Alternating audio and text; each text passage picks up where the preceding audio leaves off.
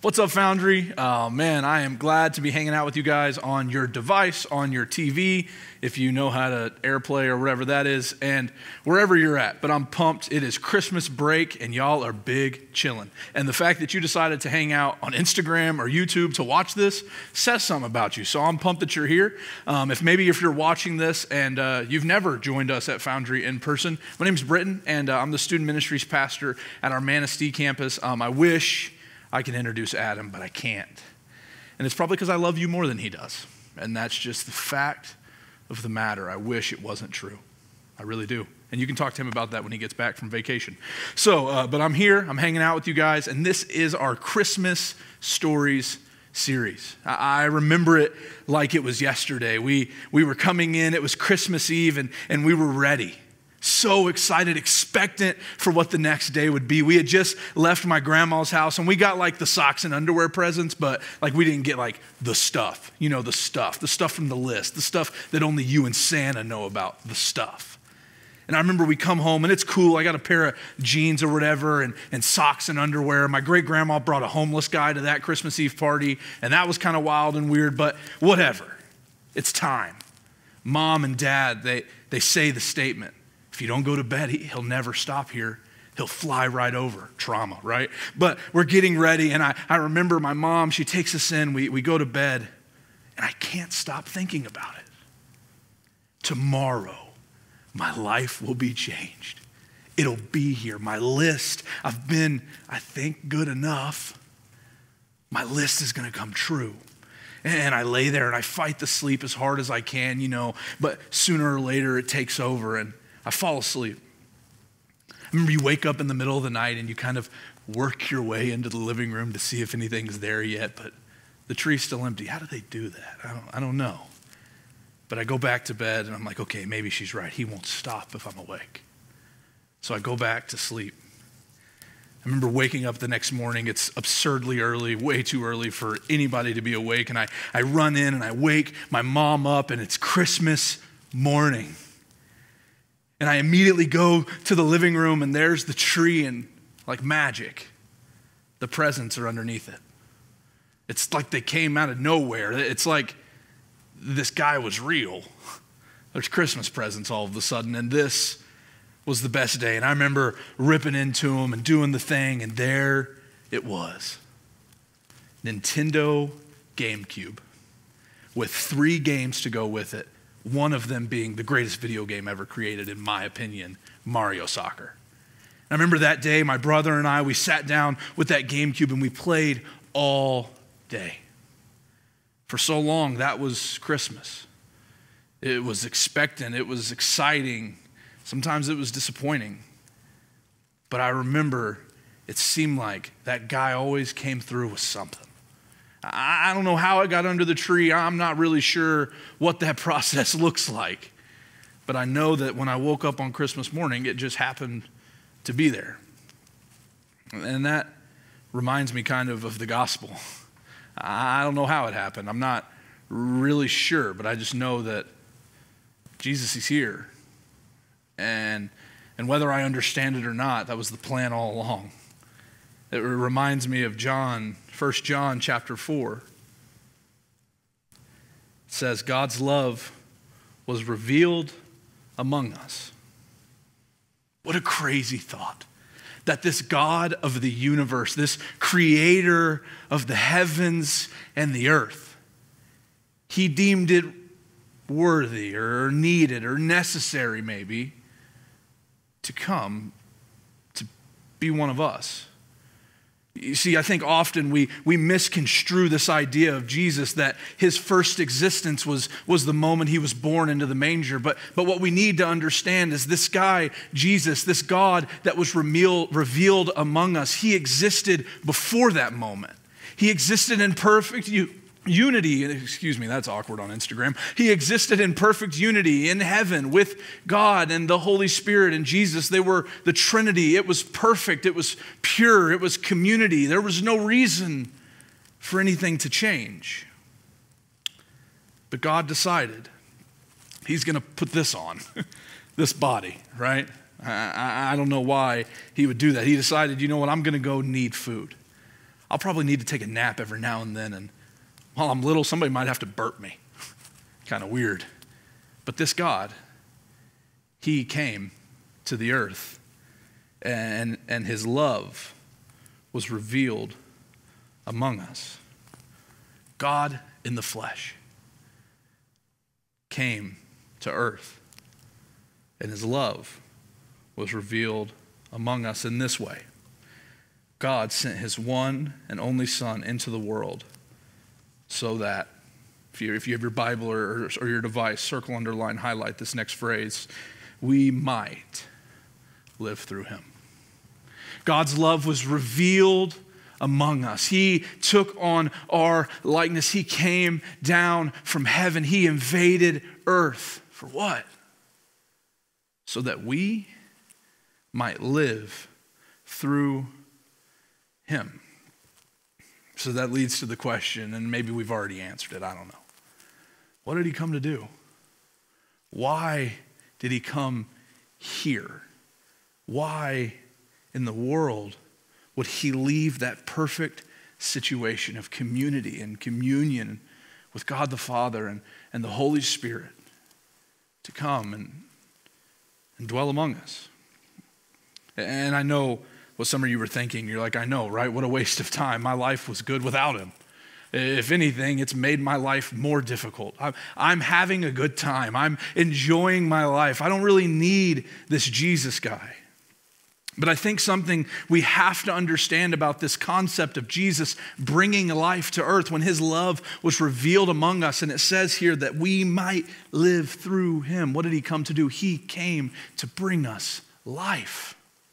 He came to bring us life. I love the way John 10:10 10, 10 talks about this, and I'm getting there, right? Take your time, hurry up, right? John 10:10, 10, it says, A thief comes only to steal, kill, and destroy. And this is Jesus talking. He says, But I have come so that they may have life and have it in abundance. Some translations say that they may have life and life to the fullness. You see, and I know what some of you were thinking, my life's pretty good. I don't really need this full life thing that you're talking about that Jesus has to offer. You see, but what we have to understand is all of our enjoyment outside of Christ has a governor right? I'm not saying you can't enjoy hanging out with your friends if you don't know Jesus. I, am not saying that sports aren't fun if you don't know Jesus. I'm not saying you can't enjoy the almighty fajita if you don't know Jesus. But what I'm saying is this, this this enjoyment, this goodness that you find, it has a governor, it has an end, it has something, it'll never be enough for you. But Jesus, He came and He came to bring life and, and life to the fullest, life abundant, something we can't fathom or completely understand, but something that He promises to us. Emmanuel, God with us. He came to be with us. You see, something I think we forget often is that we're worshiping creatures. We were created as worshiping creatures. And I know for maybe the atheists watching this, you're like, man, I don't worship anything. We all worship something. We all worship something we can't help it. We're built for it. And this full life, this idea of life to its fullness for the Christian, it's found in complete surrender and worship of Jesus. It's found in the fact that the everyday, my, my time in the locker room, or my time playing sports, or my time with my friends, or the time I get to spend at church, it's bigger, it's better, because I get to do it with Jesus. Why? Because he came and his love was revealed among us so that we might live through him. You see, what this, this text is telling us is that God made love visible to us and among us. He came to bring life. And I think often in our, in our culture, in, in the context of 7th through 12th grade, or wherever you're at today, often whenever we think about the people we know that identify themselves as Christians, you know, we think about these frail, these stale, these defeated, these crumbling people that are just always sad and there's, le- there's just not enough and they're, they're following all the rules and their life is boring and there's just nothing to it. And I, I'm here to reclaim the fact that that's mere Christian propaganda. Uh, that's a lie that the world is trying to sell you that if you belong to Christ, your life will never be what it could be if you just chased your own dreams. If you just did what brought you happiness, that's where you'll find your best life. Can I be honest with you for a minute? Your best life is found in full surrender to Jesus Christ. Your best life is found in, in worshiping the one who came to be among us. He came so that we could have life and life abundantly. And all these other things, as good as they may seem, they're really bad gods.